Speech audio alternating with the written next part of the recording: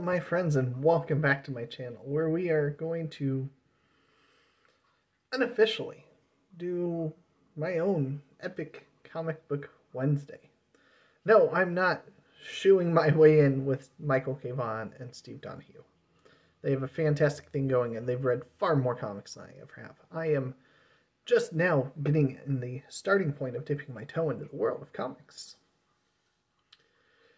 But I've been reading a fair amount of them lately, and so I'm going to try on Wednesday until I run into a point where I have not either don't have time to make video or run out of ones that I can talk about until I get further caught up. But right now, I have finished a, a series, a run, so to speak, of comics that I very much want to talk about. And that is Northlanders. Yes. You may remember, if you've been with this channel for a while, I unashamedly gave the crown to Volume 1 here of Northlanders by Brian Wood as the my best read of the year of last year. It sucked me in and didn't let me go. I spent an entire evening just reading this. And this is not a small volume. This is 400 and some pages. And it just was fantastic. Um, you know, the, some stories were bigger hits than others. Inside this collection there, I think there were five parts to it. And all of them have different artists. So each part has the same artist. But then you get to the next part, and it will have a different artist doing this stuff. And obviously, of course, some of them are going to be better than others. But the one thing that held true all across was that the writing was just fantastic.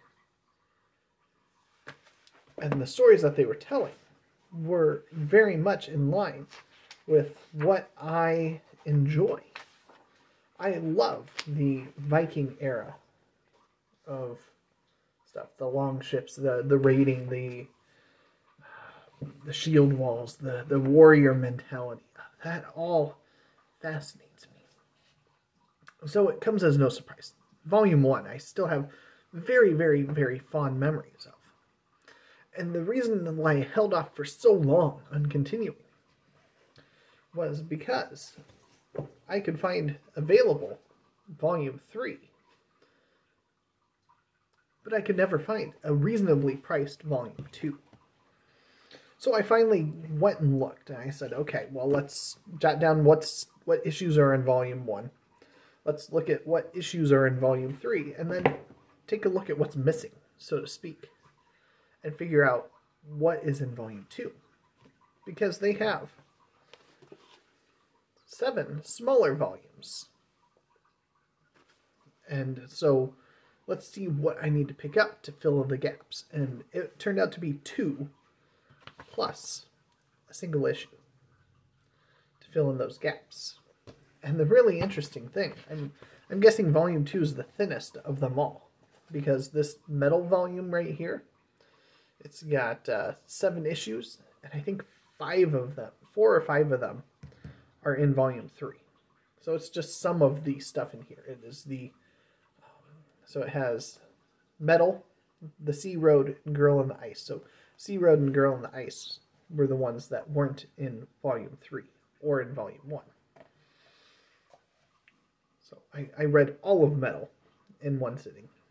Well, not in one sitting, but like I read this compilation and really enjoyed it. Um, as you might infer from the title there of Metal, it, it deals with a blacksmith. And really, really interesting story things take some unexpected turns along the way. Let's see if I can find some good. Uh, a lot of work with the um,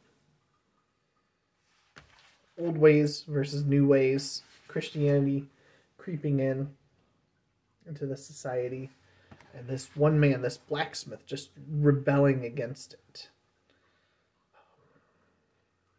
And, and fighting to to keep the woman he loves. And so he, he commits an act pretty early on that sets most people against him.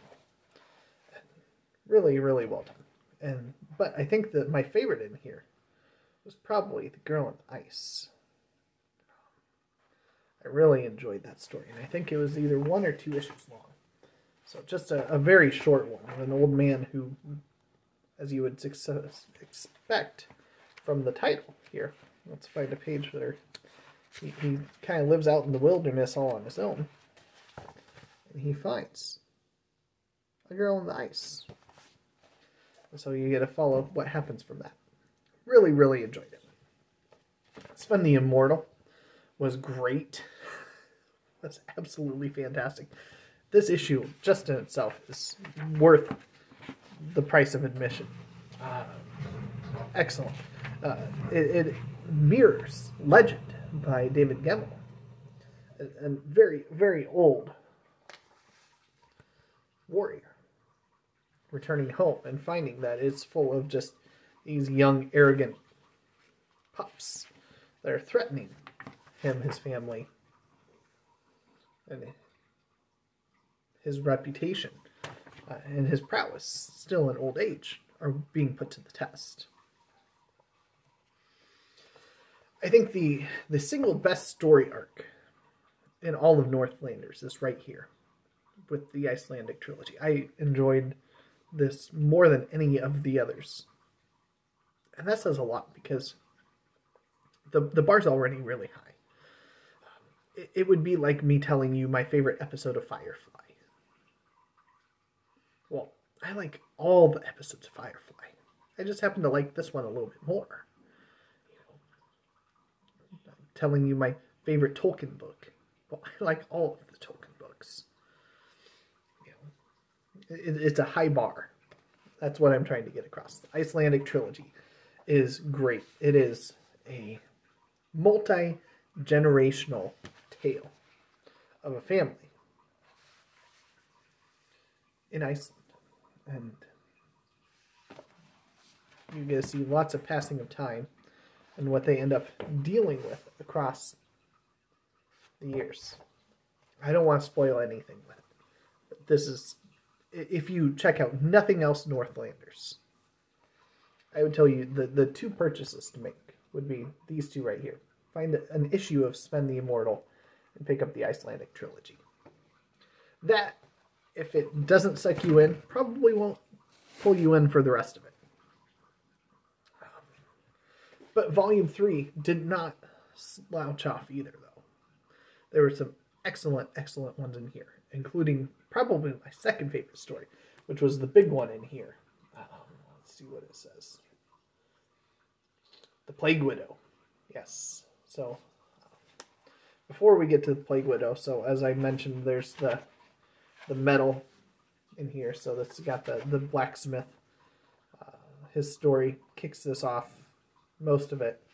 Um, it does have a Viking art of single combat, which was an interesting one shot that opens up the volume, where you have two warriors fighting. it is just, it's delightful. Really, really enjoyable.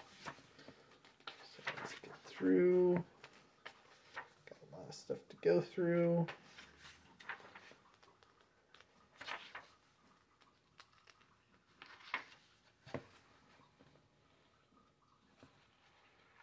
Here we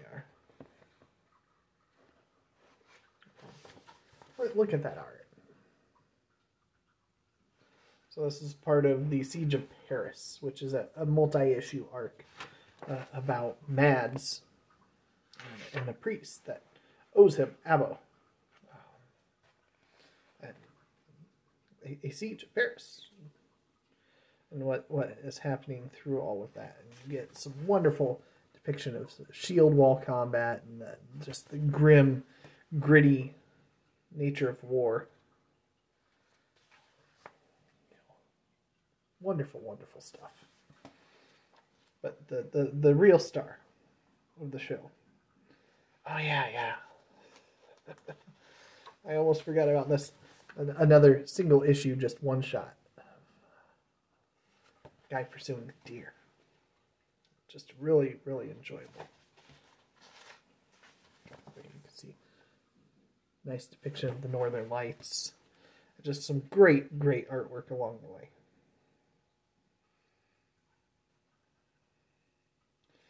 But uh, Plague Widow, who in the very first issue, her husband, a nobleman, dies of the plague. And so you get to experience what ensues from there and how this this woman with a daughter is providing for her family and, and working through all of that. I mean, just great artwork along the way, a great story. I had a hard time putting down Plague Widow when I was reading it. Just,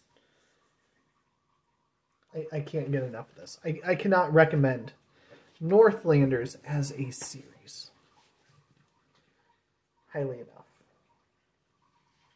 So this is how I went through to, to get my three volumes. If volume two ever comes back at a reasonable price, you know, normal price being uh, volume one, volume three were around $30.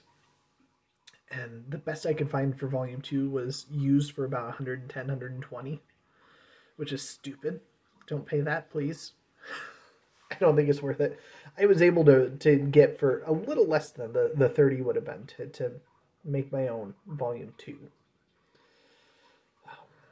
Might have been just a little over 30, somewhere in that ballpark.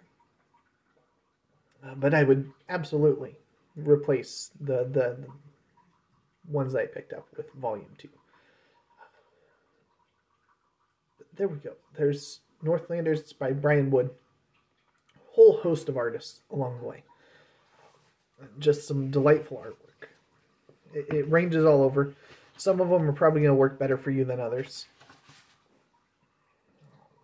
yeah, so here in volume one, it has Dean Ormston, Daniel Zezelj, David Gianfels, Marian Churchland, Brian Kelly, all listed as artists. So I'm assuming those are the five different arcs that are in here that have different artists. So um, yeah, if you enjoy the Viking era, if you enjoy medieval at all, if you enjoy comics at all, you probably will enjoy Northlanders. And it's a perfect pairing to go along with Saga that happens every April. Um, and very much, a lot of them feel like sagas put into a graphic form, especially the Icelandic trilogy. I want to emphasize that one. That one's great. Uh, but Plague Widow could very, very well have been an Icelandic saga too. So I know a couple of folks have picked it up Adam from Dishelved with Adam White. I know picked up the first volume and enjoyed it quite a bit. I'm sure a couple other uh, people have probably read it and just haven't had a chance to talk about it. Uh, but if you do pick it up, please let me know. I would love to hear your thoughts on it uh, because it, it sucked me in, and I am sad that there's not more. But this is a set of comics that I know I will revisit time and time again because I love the subject matter and the stories are going to just exist with me for quite some time. And I, am excited to, in a couple years, go back and revisit all of them and uh, just sit down and just read them one after the other and have a, a really great week or month of just delving back into those stories. So, anyway, I've gone on long enough. That's not bad for a time for Epic Comic Book Wednesday. Stay tuned next week when I talk about the Joss Whedon run of The Astonishing X Men, which was, I, I won't spoil, but I enjoyed it a lot. Um, so I will catch you later.